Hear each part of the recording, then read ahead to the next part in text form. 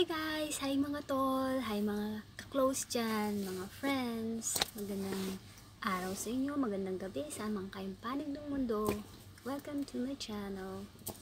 Uh, this is Mamets. Uh, ito yung introduction na aking channel. Ano ba daw pwede natin pag-usapan dito? Anything under the sun na gusto yung pag-usapan natin, just comment below at try natin gawa ng paraan just a just a little background sa akin. I'm a mother of four. I'm 36 years old. At wala lang, parang 2 weeks ago, naisip ko lang mag-vlog. Dahil sa una is madaldal ako. At sadyang madaldal lang talaga. ano? Ayun, so, sabi ko, why not try? Para naman mapuntahan yung kadaldalan ko, di ba? So, ito na nga. At ito yung uh, introduction ng channel ko. Kung may gusto man kayong pag-usapan, mga kahit ano, tungkol sa BFF, tungkol sa parenthood, motherhood, sisterhood, Robinhood. Char lang. Yan. Pwede kayong mag-comment or mag-send kayo ng message sa Facebook ko. Tatry natin ko yan ng, ng kasagutan or solusyon kung ano man yung mga problema ninyo or anything just for fun, kahit ano, entertainment or music probably 20% dahil hindi ko yun linya pero subukan natin gawa ng paraan or any request or any anything under the sun basta kahit ano po I'm willing na try din kung may mga challenges din kayo na ganyan na pwede kong subukan kung kaya ko. And that's it guys. So don't forget to click subscribe sa channel ko.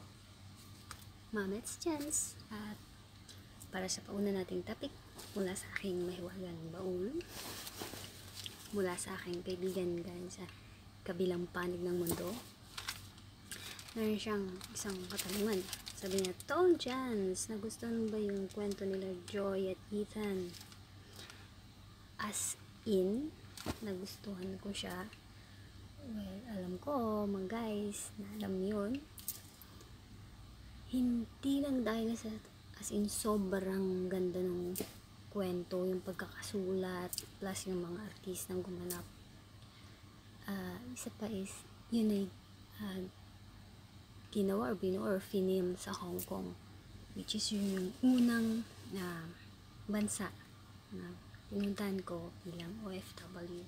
So, malapit sa puso ko ang Hong Kong. Shoutout pala sa mga tol ko dyan sa Thursday Family. Yan.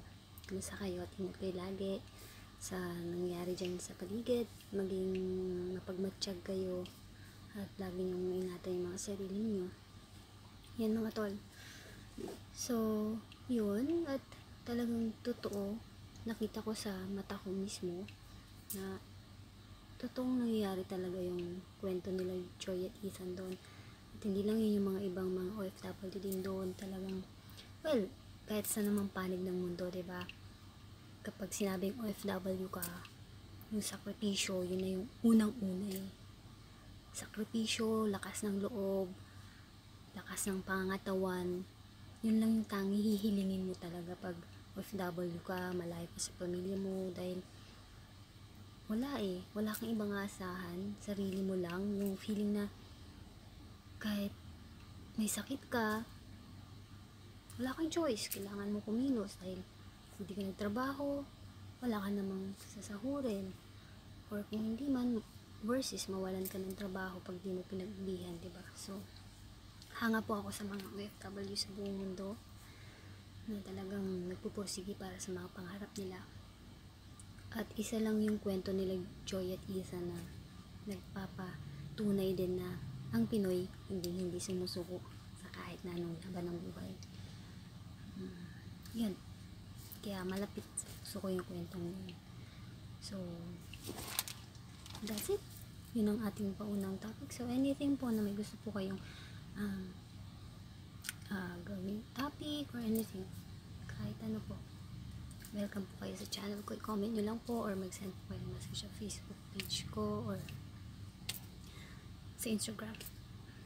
Uh, don't forget to click subscribe guys, mga tol. Have a nice day po.